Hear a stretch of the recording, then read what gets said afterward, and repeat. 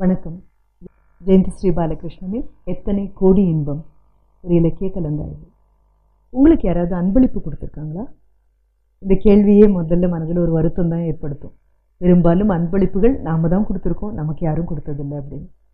இப்போ இருக்கக்கூடிய குழந்தைகள் எல்லாம் கிஃப்ட் வேணும் அன்பளிப்பு வேணும் அப்படிங்கிறதுல மிகவும் மிகவும் உறுதியாக இருக்காங்க. அதற்கான சூழல்களையும் அவங்களே உருவாக்கிக்கிறாங்க.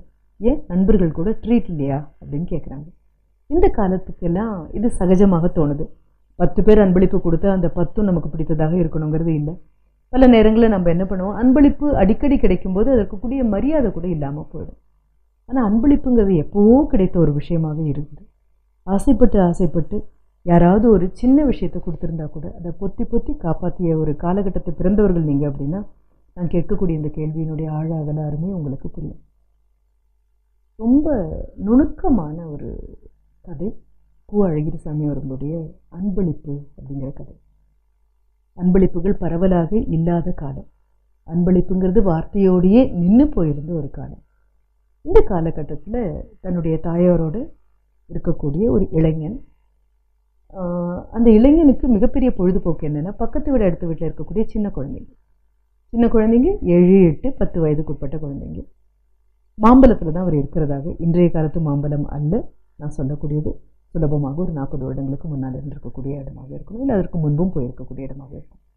தாயாரோடு தங்கியிருக்கக்கூடியவர் வேலைக்கு போயிட்டு திரும்பும் பொழுது மாலை நேரங்களானாலும் சரி சனி ஞாயிறாக இருந்தாலும் சரி அல்லது ஞாயிற்றுக்கிழமையாக இருந்தாலும் சரி ஓய்வு நேரமும் ஓய்வு நாளும் யாருக்காக ஒதுக்கப்பட்டதுன்னா அடுத்த வீடு பக்கத்து வீட்டில் இருக்கக்கூடிய குழந்தைகளுக்கு. முதல்ல இந்த வீட்டுக்கு குடி வந்த பொழுது இந்த குழந்தைகள் ரொம்ப ரொம்ப தயங்கி தயங்கி தான் அவங்களே வந்தாங்க. எல்லாருடைய பெயரும் ஒரு அழகான பட்டியலாக இருக்குது இந்த பட்டியலில் நமக்கு தேவையானது யாருடைய பெயர்னா அதை மட்டும் நம்ம ஞாபகத்தில் வச்சா போதும். இந்த குழந்தைங்களில் பெரும்பாலான குழந்தைகள் ஒரு ஐந்தாறு குழந்தைகளில் பெரும்பாலான குழந்தைகள் ஓரளவுக்கு வசதி வாய்ந்த குடும்பத்தில் பிறந்த குழந்தைகள் சொந்த வீட்டுக்கார குழந்தைகள்னு சொல்கிறாரு வாடகை வீட்டில் இருக்க வேண்டிய அவசியம் இல்லை சொந்தமாகவே வீடு இருக்கு இந்த குழந்தைங்களுக்கு செல்வ செழிப்பான குழந்தைகள். அதை விட பெரிய விஷயம் என்ன அப்படின்னா இவர் அன்பளிப்பாக அந்த குழந்தைகளுக்கு கொடுக்கறது எல்லாமே கதை புத்தகங்களாக தான் இருக்கு இப்போது ஒரு ஞாயிற்றுக்கிழமை சனிக்கிழமை தானே நாளை காலையில் ஞாயிறு தானே? மெதுவாக எழுந்திருத்தா போதும் அப்படின்னு சனிக்கிழமை முடிந்து ஞாயிற்றுக்கிழமையினுடைய காலை அதிகாலை மூன்று மணி அப்போ தான் தூங்கவே போகிறாரு எட்டு மணி இன்னும் நேரம் ஆகலைன்னு நினைக்கும் போது பார்த்தா குழந்தைகள் பட்டாலும் ஓடி வந்தாச்சு. தூங்கு மஞ்சி மாமா அப்படின்னு சொல்லி எல்லாம் இவர் அடிக்கிறது இவர் தலையில் தண்ணியை கொட்டுறதும் உருள்றதும் பிறல்றதும் இப்படி தான் அமக்களமாக இவருடைய ஞாயிற்றுக்கிழமை பொழுது புலருது. அம்மாவுக்கு பெரிய கோபமும் வருத்தமும். ஒரு திருமணமாகிய தனக்குன்னு மனைவியும் குடும்பமும் குழந்தைங்களும் இருந்தால் அம்மாவுக்கு அவ்வளோ கோபம் வராது. அடுத்த வீடு பக்கத்து வீட்டு குழந்தைங்க வந்து இப்படி ஆர்ப்பாட்டம் பண்ண எல்லாவற்றையும் இழுத்து கீழே போட தரையெல்லாம் ஏதோ யுத்தகலம் மாதிரி மாற்றிட்டு போக. பொறுமையாக முகம் கொஞ்சம் கூட ஒரு சுணக்கம் இல்லாமல் வருத்தம் இல்லாமல் எல்லா புத்தகங்களையும் மறுபடியும் எடுத்து அடக்கி அவர்கள் வரவுக்காக காத்திருக்கக்கூடிய மகனை அம்மாவால் கண்டிப்பாக புரிந்து கொள்ளவே முடியல. ஆனால் இவருக்கு மிகப்பெரிய சந்தோஷம். சாதாரணமாக அந்த குழந்தைகளுக்கு கதை சொல்கிற மாதிரி ஆரம்பித்து வரும் ஒவ்வொரு முறையும் இன்னைக்கு என்ன புத்தகம் கொண்டு வந்திருக்கீங்க? இன்னைக்கு என்ன புத்தகம் கொண்டு வந்திருக்கீங்கன்னு கேட்க ஆரம்பிச்சு குழந்தைங்க. சரி அன்பளிப்பாக சில காம்ப்ளிமெண்ட்ரி காப்பீஸ் அப்படின்னு நம்ம சொல்லுவோம் இல்லையா? யாராவது ஒரு புத்தகம் ஒன்று பிரசுரிக்கப்பட்டால் அந்த புத்தகத்தின் நண்பர்களுக்கெல்லாம் கொடுக்கக்கூடிய அந்த பிரதிகள் இருக்குமே அந்த மாதிரி பிரதிகள் இவர் கைவசம் இருக்கும். இந்த குழந்தைகளுக்கு அது போதும்னு நினைத்த காலம் உண்டு. ஆனால் அசுரப்பசியில் இருக்கக்கூடிய குழந்தைங்க எட்டு வயது தான் ஒன்பது வயது தான் அதுக்கு புத்தகம் படிக்கக்கூடிய வெறியை பார்த்தபோது கண்டிப்பாக இதுக்கு இப்படி தீனி போட்டு கட்டுப்படி ஆகாதுன்னு அவருக்கு புரியுது. இந்த கதையை நான் சொல்லும் பொழுதே நீங்கள் ஒன்று புரிஞ்சுக்கணும். நம்ம வீட்லேயும் எட்டு வயது ஒன்பது வயது குழந்தைங்க இருக்காங்க. எத்தனை பேருக்கு இந்த புத்தக வாசிப்பு இருக்கு? ரொம்ப அந்தரங்கமான ஒரு அனுபவம் இது. ரொம்ப ஆனந்தமான ஒரு அனுபவம் இது.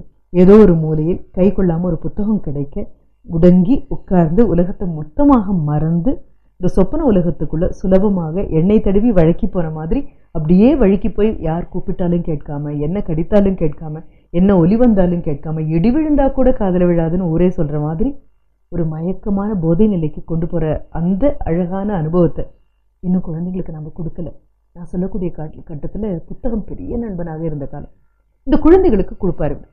கொண்டு வரல நான் ஞாயிற்றுக்கிழமை உங்களுக்கு படிக்கிறதுக்கு புத்தகம் கொண்டு வரல அப்படின்னு சொன்ன அடுத்த நிமிஷம் வீடு ரணகலப்பட ஆரம்பிச்சிடும் எல்லா புத்தகங்களையும் கீழே கொட்டி இவர் மேலே ஏறி மிதித்து அடித்து எல்லாம் பண்ணி சமைய சமையல் கட்டிலிருந்து அம்மா வெளியில் வந்து ஏன் தான் இப்படி அடுத்த வீட்டு குழந்தைங்களுக்கு இப்படி ஒரு அனுமதி கொடுக்குறியோ? இதில் உனக்கு எப்படி ஆனந்தமோ?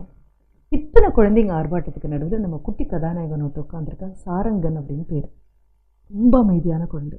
ஆர்ப்பாட்டம் பண்ணதே கிடையாது. எல்லாரும் ஓடி ஆடி புத்தகங்களை கீழே வீழ்த்தி இது எனக்கு இது எனக்கு அப்படின்னு பகிர்ந்து பாய்ந்து எடுத்துக்கொள்ளும் பொழுதெல்லாம் நம்மளுடைய இந்த கதை சொல்லியினுடைய தோளோடு ஒட்டி சாய்ந்து அமைதியாக அவரையே பெரிய கண்களால் பார்த்து கொண்டிருக்கக்கூடிய ஒரு சின்ன குழந்தை. ஏழு எட்டு வயது இருந்தால் ஜாஸ்தி. வாடகை வீட்டில் இருக்கக்கூடிய ஒரு குழந்தை. என்ன காரணமோ தெரியாது. மற்றவர்களுடைய தைரியம் அவனுக்கு வந்ததில்லை. மற்றவர்களுடைய வீம்பு அவனுக்கு வந்ததே கிடையாது. கதை இப்படியே நகருது. முதல் முதலாக இவருக்கு பரிச்சயமான கொஞ்சம் வசதியான குடும்பத்திலிருந்து வந்த ரெண்டு குழந்தைகளுக்கு தான் பெரும்பாலும் இவர் அன்பளிப்பாக புத்தகங்களை கொடுப்பார். அதுவும் பிரியமுள்ள அப்படின்னு அந்த குழந்தைகளுடைய பெயரை எழுதி இது எனது அன்பளிப்பு அப்படின்னு அந்த புத்தகத்தை கொடுப்பார். மற்ற குழந்தைகள் எல்லாம் அதை ஏற்றுக்கொண்டுட்டாங்க. என்ன? அவங்க ரெண்டு பேருக்கு மட்டும்தான் எப்பொழுதும் அன்பளிப்பு கிடைக்கும்? புத்தகங்கள் படிக்க மட்டும்தான் நமக்கு கிடைக்கும். படித்த உடனே நம்ம திருப்பி கொடுக்கணும். அப்படியே புதிய புத்தகமாக இருந்தால் முதல்ல அவங்க ரெண்டு பேருக்கும் கிடைக்கும். அவங்க வாசித்து அவங்க திருப்பி கொடுத்தா மட்டும்தான் இவங்களுக்கு என்ன கிடைக்கும்? இதில் எதிர்ப்பு கிடையாது. ஆமாம் நம்மளுடைய கதை சொல்லிக்க அந்த ரெண்டு குழந்தைங்களும் தே ஆர் வெரி ஸ்பெஷல் மிகவும் இணக்கமானவர்கள். மற்ற குழந்தைங்க அத்தனை பேரும் ஒத்துக்கிட்டாச்சு. ஆனால் கண்களில் மட்டும் ஒரு சின்ன சோகத்தோடு சாரங்கன் உட்காந்துருக்கும் அன்றைக்கி எல்லா குழந்தைங்களும் ஓடிடுறாங்க. சாரங்கன் மட்டும் கையில் ஒரு புத்தகத்தை வச்சுட்டு வச்சுட்டு அந்த புத்தகத்தையே பார்த்துட்டு நம்ம கதை சொல்லிக்கிட்டு அவன் கேட்குறான் என்ன கேட்குறான் அப்படின்னா இந்த புத்தகம் புரியறதுக்கு எனக்கு இன்னும் எத்தனை கிளாஸ் நான் பாஸ் பண்ணணும்? கதையிலேருந்து அப்படியே கேட்குறேன் நான். அவர் சிரிச்சுட்டே சொல்கிறாரு என்ன இன்னும் ரெண்டு கிளாஸ் கூட போனால் இந்த புத்தகம் உனக்கு புரியும்? அவன் கையில் இருக்கக்கூடியது வால்ட் விட்மனுடைய லீவ்ஸ் ஆஃப் கிராஸ்ங்கிற கவிதை தொகுப்பு. கண்டிப்பாக அவனுக்கு இன்னும் ரெண்டு வயது போனாலும் புரியுமான்னு தெரியாது. ரொம்ப எனக்கு இந்த புத்தகத்தை கொடுக்குறீங்களா? ஐயோ இது உனக்கு புரியாதே. அங்கேயே வை அப்படிங்கிறாரு. வச்சாச்சு. அது கடையில் சமையல் கட்டிலேருந்து அம்மா வராங்க. உனக்காக வைத்திருந்த வெந்நீர் எல்லாம் ஆறி போச்சு. சீக்கிரம் வந்து குளிச்சுட்டு சாப்பிட வர மாட்டியா? இது என்ன பாடுபடுத்திட்டு இருக்கேன் அப்படின்னு. இந்த கதை போயிட்டே இருக்கும்பொழுது பார்த்தா திடீர்னு வரக்கூடிய குழந்தைகளில் ஒரு குழந்தை. அவளை காணும் கொஞ்ச நாளாக இவர் அவர் வீடுகளுக்கெல்லாம் போய் பழக்கமே இல்லை. குழந்தைகள் தான் இவர் வீட்டுக்கு வந்து பழக்கம். போய் பார்க்கணும். அந்த குழந்தைக்கு என்னாச்சுன்னு தெரியல. மற்ற குழந்தைகள்கிட்ட கேட்குறாங்க மற்ற குழந்தைகளும் சொல்கிறாங்க பிருந்தாக்கு என்னாச்சுன்னு எங்களுக்கு தெரியாது அப்படின்னு சொல்கிறாங்க இவர் முடிவெடுக்கிறாரு. வாசலில் வந்து பார்க்குறாரு அந்த வீட்டு வேலைக்காரன் போகிறத பார்த்த உடனே இவர் கேட்குறாரு என்ன ஆச்சு? எப்படி இருக்குது அவளுடைய உடல் ஆரோக்கியம்? இல்லை ரொம்ப காய்ச்சலாக இருக்குது நாளுக்கு நாள் கூடிக்கொண்டே போகுது.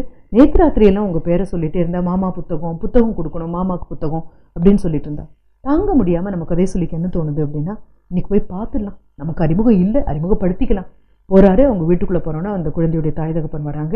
இவரை ஓடி வரவேற்கிறாங்க இவர் போய் பார்க்குறாரு. பார்க்கும்போது அப்படி ஒரு அப்படியே தொய்ந்து போன ஒரு நாராக அந்த குழந்தை படுத்துட்ருக்கா இருக்கா. பக்கத்தில் போய் கையை பிடிச்சி அவர் வந்து நான் யார் வந்திருக்கேன் பாருமான்னு சொன்னார் குழந்தை சந்தோஷமாக பார்க்குற. நாளாக நாளாக ஒரு மூன்று நாட்களுக்குள்ளே குழந்தையுடைய காய்ச்சல் கொஞ்சம் கொஞ்சமாக குறைய ஆரம்பிக்குது. ஆனால் தினம் தினம் காலையும் மாலையும் இவர் பார்க்கணும்னு முடிவு பண்ணுறாரு இப்படி ஒரு போய் பார்க்கும்பொழுது உங்களுடைய குட்டி கதாநாயகன் சாரங்கன் இதை பார்த்துடும். எங்கள் வீட்டுக்கும் நீங்கள் வரணும். ஆ வரலாம். எப்படியாவது தட்டி கழிக்கணும். அடுத்த ஞாயிற்றுக்கிழமை வரேன் அப்படி. குழந்தை ஒவ்வொரு நாளும் காலையும் மாலையும் இவரை பார்க்கும்போதெல்லாம் கேட்போம் எங்கள் வீட்டுக்கு வரணும் நீங்கள் எங்கள் வீட்டுக்கு வரணும் நீங்கள் என்ன காரணம்? இவர் எல்லா அந்த ரெண்டு குழந்தைகளுக்கும் அன்பளிப்பு வேற கொடுத்துருக்காரு. புது வருடம்ங்கிற டைரி வேற கொடுத்துருக்காரு அன்பளிப்பாக. இவருக்கு எதுவுமே கிடைச்சதில்ல ஆனால் இவன் கவலைப்படல. எங்கள் வீட்டுக்கு வரணும் வரணும் வரணும். சனிக்கிழமை மாலை மறக்காம இவர் பார்க்க வரான். கேட்குறான் நாளைக்கு ஞாயிற்றுக்கிழமை. எங்கள் வீட்டுக்கு வருவீங்க தானே? இது என்னடா இது தொந்தரவா போச்சு அப்படின்னு நினச்சி அவர் சொல்கிறது ஆ பார்க்கலாம். எனக்கு நாளைக்கு நிறைய வேலை இருக்கு. இப்போ வரமாட்டிங்களா? வரேன்னு என்கிட்ட தினம் தினம் சொன்னீங்க. ஏதோ சின்ன குழந்தைன்னு சொன்னேன். இல்லை முடியாது வரல. போவான். இறங்கி அந்த குழந்தை போகும்போது அந்த புத்தகத்தை மறுபடியும் கையில் எடுப்பான். வால்ட் விட்மனுடைய கவிதை தொகுப்பு இதையாவது கொடுக்குறீங்களா? இது எப்படி கொடுக்குறது? உனக்கு தான் சொன்னேன் இல்லை உனக்கு புரியாது அப்படின்னு. தேம்பி தேம்பி அழுதுட்டு அந்த குழந்தை ஓடுறது தெரியும் அவருக்கு. எதுக்கு இப்படி திடீர்னு அழ ஆரம்பிச்சிட்டான்னு அவருக்கு புரியாது. ஐயோ சாதாரண குழந்தைப்பா. கலகலப்பா அமைதியாக இருக்கக்கூடிய குழந்தை. மற்றவங்க மாதிரி பேசக்கூட மாட்டானே. சரி இப்போ அன்றைக்கி ராத்திரி பூரா தூக்கம் வராது. அடுத்த நாள் ஞாயிற்றுக்கிழமை காலையில் எல்லா குழந்தைங்களும் வரும். சாரங்கம் வந்திருக்க மாட்டான் அப்புறம் பார்த்தா மெதுவாக ஒட்டி ஒரு வாடி அங்கே வெளியில் நிற்கிறது தெரியும். இன்னைக்கு ஞாயிற்றுக்கிழமை வரேன்னு சொன்னீங்க வரவே இல்லையே. இன்னும் உட்காந்துட்டு இருக்கீங்களே. நான் இப்போ வரலடா எனக்கு வேலை இருக்குது இல்லை நீங்கள் வரலன்னா மறுபடியும் உதடெல்லாம் துடிக்க ஆரம்பிக்கும். அழப்போறான்னு இவருக்கு தோணும். சரி வா போகலாம் அப்படின்னு போவார். அப்போது மனதில் ஒரு சின்ன சந்தேகம்.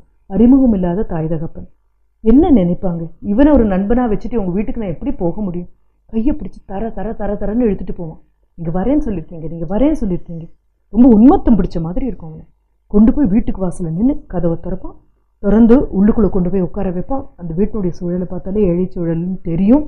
உட்காந்துட்டு இவர் திரும்பி பார்க்கறதுக்குள்ளே உள்ளுக்குள்ளே ஓடி போய் ஒரு தட்டு நிறைய உப்புமாவும் ஒரு டம்ளரில் காப்பியும் கொண்டு வந்து வச்சு இவர் சாப்பிட்றாரான்னு வேறு பக்கத்தில் நிற்பான். வெளியில் போயிருக்கக்கூடிய அவங்க அப்பா அப்போ தான் வருவார். இவர் ஒரு மாதிரி பார்த்துட்டு புன்னகைச்சிட்டு போயிடுவார். இவருக்கு ரொம்ப தர்ம சங்கடமாக இருக்கும். தாங்க முடியாமல் சரி அவசர அவசரமாக உப்மாவையும் சாப்பிட்டு காப்பியும் குடித்தோடனே தட்டியும் டம்ளரையும் கொண்டு போய் உள்ளே வச்சுட்டு இவர் திகைச்சு போய் உட்காந்துருக்கும் போது இவர் முதுகு பின்னால் அப்படியே சாரங்கன் வந்து நிற்பான்.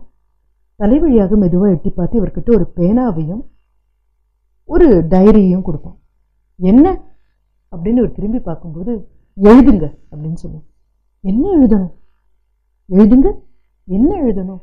பிரியமான சாரங்கனுக்கு எனது அன்பளிப்புன்னு எழுதி கொடுங்க.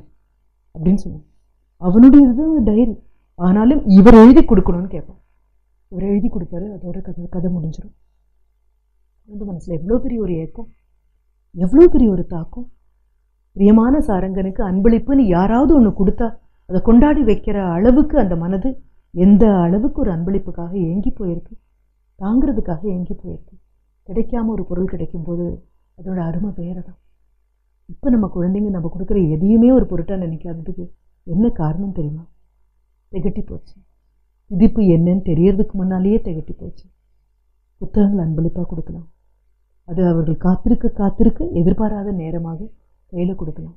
அன்பளிப்பு மட்டும் இல்லை அதை விட பெரிய அன்பளிப்பு அந்த புத்தகத்தை அவங்களோட இருந்து வாசிக்கும் போது இங்கே கொடுக்கக்கூடிய அந்த அறிவு அந்த புரிதல் அந்த ஞானம் இந்த அழகான பகிர்தலான இந்த அன்பளிப்புங்கிற கதையை கூட மாலை மயங்கிற நேரத்தில் உங்கள் குழந்தைகளுக்கு நீங்கள் வாசித்து காண்பிக்கலாம். முயற்சி செய்து பாருங்கள் நன்றி. வணக்கம்.